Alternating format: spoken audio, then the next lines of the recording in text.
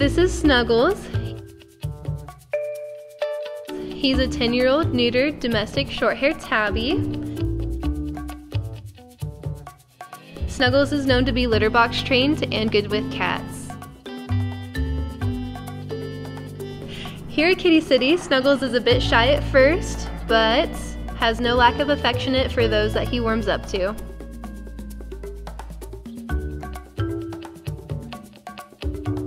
If you'd like to meet Snuggles, come down to Kitty City today.